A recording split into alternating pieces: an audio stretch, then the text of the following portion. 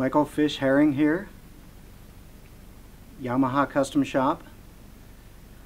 Oh, what can I say about Yamaha guitars? It's been an incredible journey for me personally.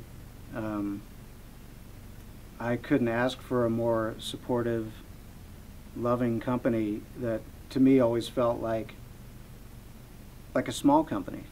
Felt like a, a small group of people that that really care. Um, I was introduced to the more modern Yamaha guitars by Paul Rivera Jr. in early 2000s. He brought me over to Yamaha and said, you know, check them out.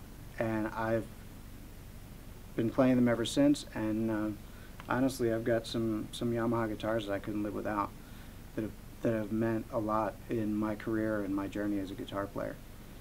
Um, so a big thanks to Yamaha Guitars and from me to you, happy 50th.